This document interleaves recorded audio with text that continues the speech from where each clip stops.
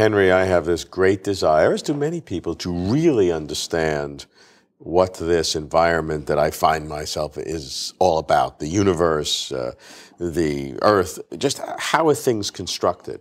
And I'm told uh, throughout my scientific career that I have to understand quantum mechanics. So I come to you to ask you how I can understand quantum mechanics so I can understand everything else. Well, I think that has a, actually a pretty simple answer, surprisingly enough. Um, people are used to thinking in classical physics terms. And when you think in classical physics terms, the universe is constructed by a process, a continuous process, and in fact, a deterministic process. So, as you know, things at the beginning determine what's going to happen for the rest of eternity. Without any possibility of, of, of, of, differences. It's just totally determined. Just an evolution. Uh, particle billiard balls bounce off each other in a well-determined way, and uh, the whole universe kind of is a, uh, an elaboration of a similar sort of uh, mechanism. A big pool table. Yeah. And um, quantum mechanics is totally different in a very important way. It's built out of events. It's built out of discrete events. These discrete events or happenings um, um,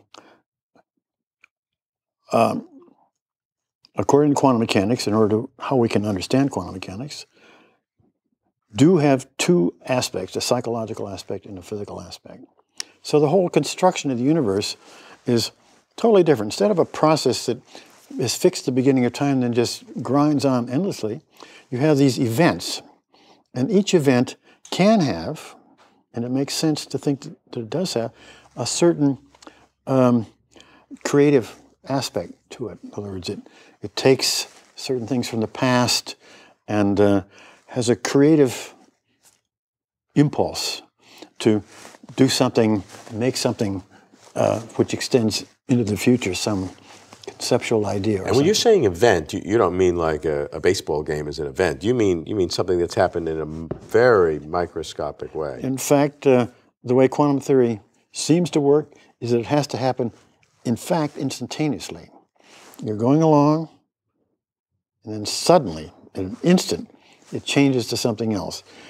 And um, you can begin to ask the question, well, why do we think that our experiences have a duration? And I can go into that question, but um, avoiding that question, the way quantum theory really works is that these events are instantaneous events. And uh, each one... A sequence of these. There's a sequence of them. And each one is instantaneous. Mm. Then something else happens and there's a new, new world is created. And uh, so there's no need for this. Uh, so the question then is, well, you have this process in which you're thinking of as has psychological elements to it, and uh, it instead of having a universe that somehow God set up and started running at the beginning that just grinds away and does nothing, you have this perpetual input of, you might even say, godlike uh, inputs. Something that's at least not physical, something that's coming more from a psychological realm. And uh, there is. Um, every instant. Not every instant. There's a little period of time, then there's another event, and then there's yeah, a, a, little. Uh, every instant there's an event. Every instant at which there's an event. An event. So there's some evolution for a while, and then there's an event. Mm. Then there's a little bit more evolution, and there's another event. And uh, so this event is certainly allowed to have, and Alfred North Whitehead is the big proponent of this idea, that each of these events can be imagined to have a, a creative input into the world. So instead of the world already being created once for all at the beginning, and then just evolving mechanically, you say, no, little bits keep of this creative input are put in as you go along. You, you see what you've got, and then you put a little bit more creativity in. So does it make why, sense why, to ask how much time there is between these events? Well, one of the one of the uh, uh, questions is what determines when the events occur. Okay. And the other question is once you say when it occurs, what occurs? Okay. So those are two aspects that uh, that quantum mechanics puts in the hand of the experimentalist, of the observer, of the conscious, whatever it is. So if you take the human element out, but just look at what seems to be happening, you have these psychological events, and instead of all of creativity and all of the freedom of what could be being put in right at the beginning, the initial conditions and the, The laws, and then everything runs. you say no. It's a process. You, you put in a little bit of creativity here, and then it's there's a process that takes in what what the situation was and and does some psychological evaluation and uh, and says the next thing is going to be. So, But says there's a the process process is a is a continu- uh, a repetitious in, or a, an input, repeated input of of of creativity into the universe as you go along. But there was a vast period of time, of course, and vast parts of the universe where there are no human beings at all. No human creativity can be involved in any of that. No human psychology, Yeah, both right. in time and in space. Yeah. So that's that's So how do you that's an interesting. The way that quantum mechanics works in actual practice involves human beings because we set up experiments. sure. We want to make predictions about what our our experience is but- So, but uh, certainly you don't want to say that this creative process is just uh, localized in human beings. You want to say that all sorts of things can uh, also contribute. First, simpler life forms, for sure. And then there's even a question of, well, does it have to be a life form? I've, I've uh, given you, uh, I should, there are examples of, of how quantum collapse processes are important already in the very simplest life forms, just the harvesting of light and the ener- of the Okay, but that's that's limited to this Earth. I mean, Sure. quantum mechanics would, would, would- for the whole vastness of, of Sure. the universal history and So don't universal you want to say there's that no these life at all? These processes, yeah. There's first there's first a question of of is life essential, and I think you've got to say no, life is not essential. Even the simplest life does manifest this, so presumably all life manifests itself.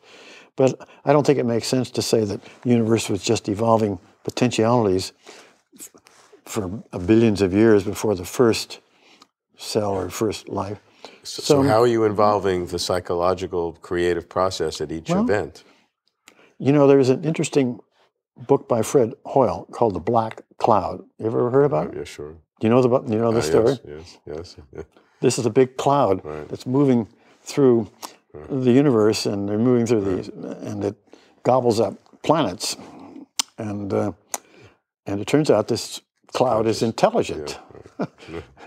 and basically, the Earth is saved by somebody communicating its intelligence to the intelligence of the black cloud. So, uh, this is a fictional story by a very eminent uh, astronomer, and um, um, but you know, we don't necessarily have to say that that this creative impulse is, is only in life. You know, to be sure, I don't have a detailed uh, proposal as to exactly how it's going to occur outside of life. But you do think it's necessary. Well, it, it is possible that the universe evolved potentialities, potentialities, potentialities, until amongst all those potentialities, some life thing occurred. And then there was a collapse. And these other ones that had no life in it got blotted out.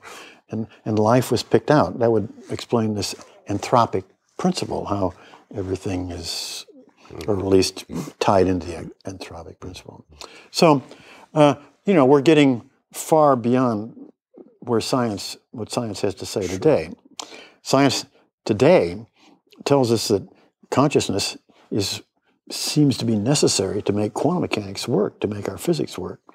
But once you introduce mind into the mix, uh, you know, uh,